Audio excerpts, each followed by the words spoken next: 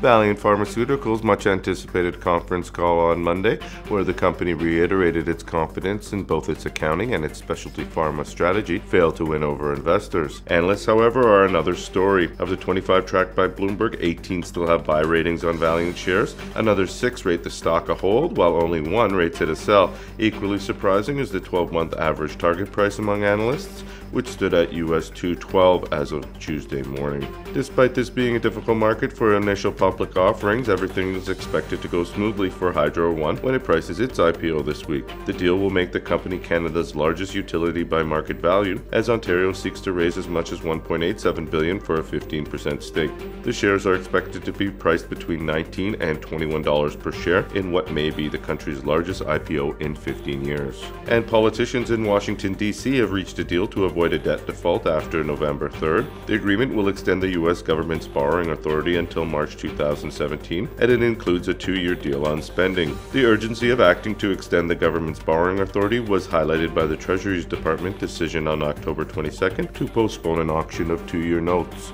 For the Financial Post, I'm Jonathan Ratner.